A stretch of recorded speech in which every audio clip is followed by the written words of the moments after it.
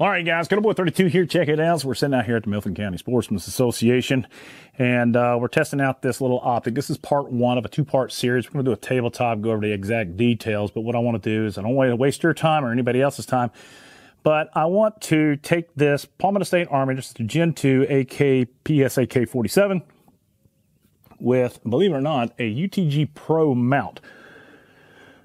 I want to do a review on the mount. We'll do it separately.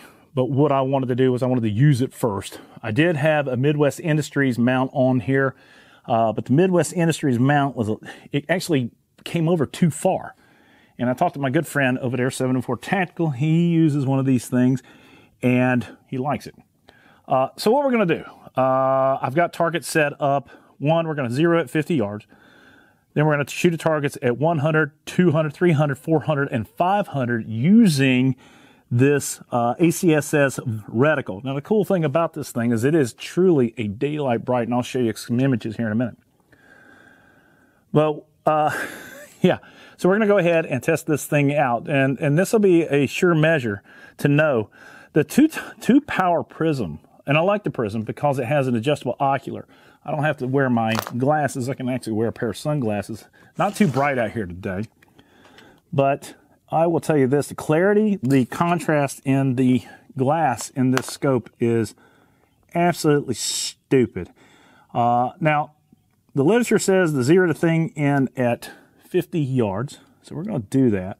The daylight brightness, it is just, it is way bright. The nice thing about a two times prism scope is that it's not too far out there. It's not too far in. And I tell you what, the, uh, the eye relief on this thing, you can go all the way up to here and all the way back to here. It's a happy medium to where you would use it normally for like an AK-47, which is what it's designed for, 7.62 by 39.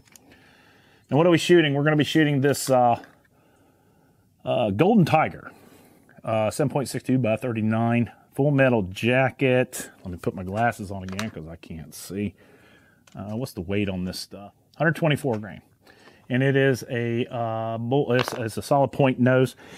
But in, in, any case, it's probably not the most accurate stuff in the world. I took the liberty to go ahead and uh, doing a zero on it at 50 yards, which is uh, what I guess it's supposed to be zeroed at.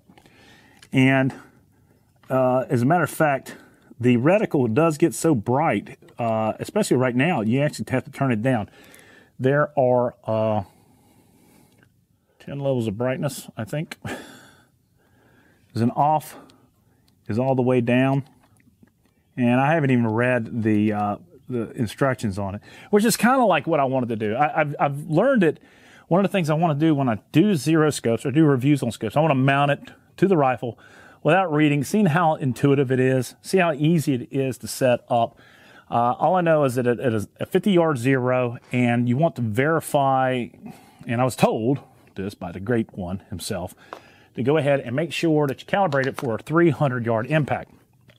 Now, most of the steels that I'm have today are 12 inch steels. There are some 10 inches out there. We'll see. All right, so we're going to run this is a Magpul Gen 3 or Gen 2. We're going to go ahead and put it in this Caldwell. Now, guys, uh, if you look in the community section of my uh, YouTube channel, there is a a link to the Caldwell. This thing is a beautiful piece of machinery that you can use to zero stuff. There's that ocular. I love doing this. All right, so let's do this. We're going to go ahead and I'm going to pop two or three rounds down here at 50 yards. Way right.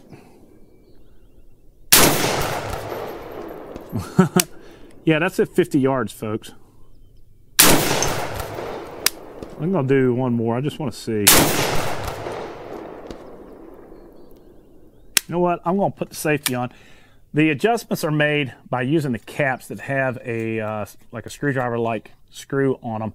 Uh, very nicely done. You've got big directionals right here up. There's an arrow pointing. You've got also arrows pointing left and right or right on this thing. I'm going to go ahead and bring it over a little bit. Let's see if that made any difference on it. Here we go.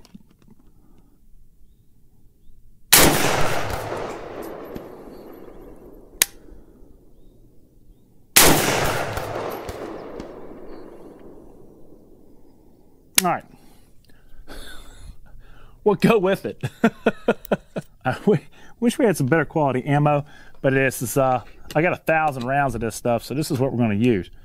Uh, the best ammo to have is the best is the ammo that you have on hand. And again, we're going to be using the Caldwell to bring it on. So that's 100 yards. We're going to aim at the bottom. Let's see if it hits. Here we go. Right dead center. All right, so we're going to bring it back. I'm going to take it up to the 200. Those are 10 inch targets right there. I'd like to thank Primo Targets, primotargets.com. Here we go. Yeah, that's pretty much it. All right, so we're going to take it up to the 300. That is a 12 inch target up there. A, thank goodness they have some steel. It's a lot of fun to bring out a steel out. Okay, here we go. This is where it's going to get interesting. All right, that's 300. So where did I put my 400 yard target? I think it's that one. Okay, I can actually see the camera. All right, so we're going to put it up at 400. Here we go.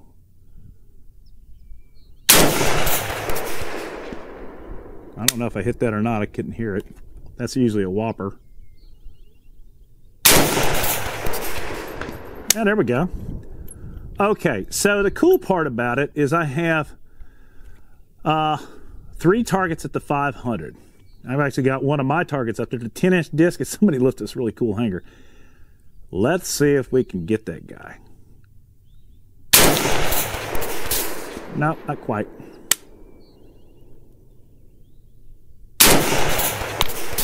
Think we're flying over. I'm going to try the hanging target on the left hand side. What? Whoa. What the wide, wide world of sports is going on here? 200, 300, 400. Huh. Getting a little rain.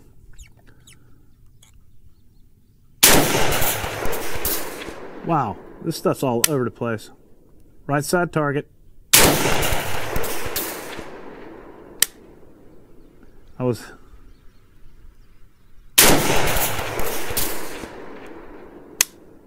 I'm going for the hanger.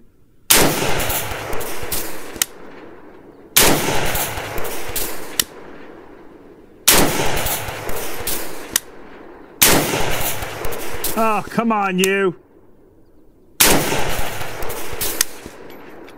Hmm. It was a lot of fun. Let's go back to the 400.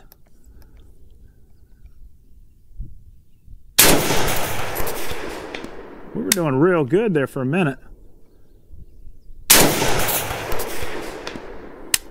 Three hundred.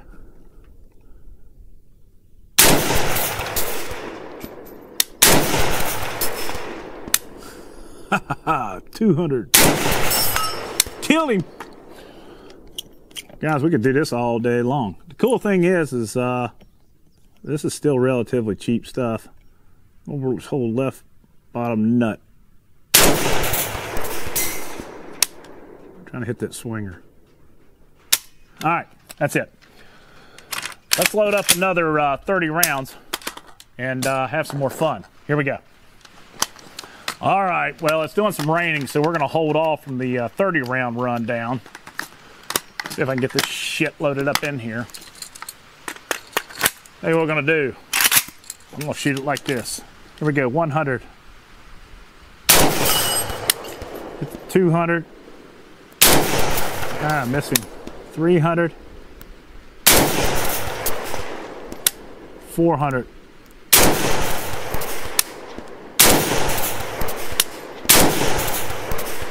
Well, let's just say this. That was an armor personnel carrier, I would have been hitting him.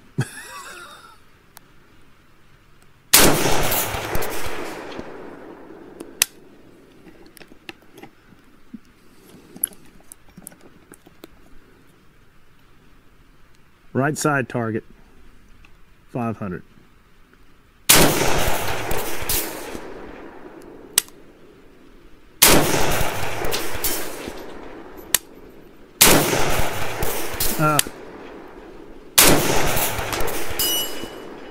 There it is. Finally. All right. So that's the uh, that's a pretty cool deal. Uh, as far as ruggedness, uh, it's typical uh, primary arm stuff. Now I know just recently they had an announcement saying something about they were experiencing some cracking um, around this area right here, and that anybody who's already purchased one of these guys, uh, they're sending the parts out. So that's a good thing to know. The beauty behind primary arms, a lifetime warranty, and uh, I'll tell you what, I've been nothing but more impressed. This is a great focal length. Look at the handguard. For where we are at 500 yards for uh, personnel or IDPA size targets. And I will tell you this, man, this is really, really nice. The glass is impeccable. Let's take some photos so you guys can see exactly what we're talking about. Música